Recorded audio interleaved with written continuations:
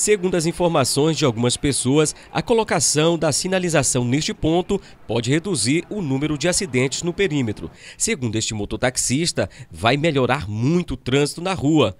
Ele ainda deixa um alerta para que as pessoas obedeçam a sinalização, para que se possa evitar mais transtornos na via. Com certeza, a gente que trabalha aqui nesse ponto, é, diariamente a gente é, observa né, várias imprudências aqui é, até mesmo acidentes, né? A gente já consegue é, lembrar né, que acontece várias vezes aqui, né? Devido a não ter, no caso, um, um, sinal, né? No caso agora com esse semáforo aqui, a gente espera né, que não aconteça mais, né? A gente espera que a população, né, os condutores venham a respeitar né? Assim melhorar né, esse tráfego aqui, que tem um horário que ele chega a ser muito intenso mesmo aqui, né?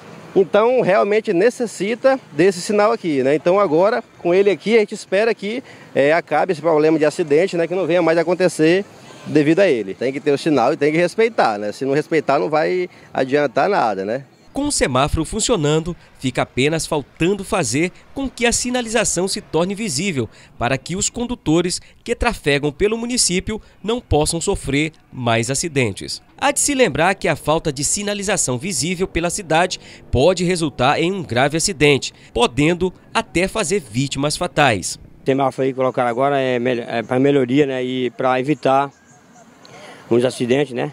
É, antes, né, a pessoa passava aqui nessa, né, diretamente aqui, né, e batia, os carros batiam ah, um com o outro, né, de repente, porque não tinha semáforo. Agora, para melhoria de todos aí, né, e eu creio que vai melhorar muito, bastante, vai ser melhor para a população e evitando de todo acidente, né. Então vale lembrar, dirija consciente e faça sua parte para melhorar o trânsito em Tomé.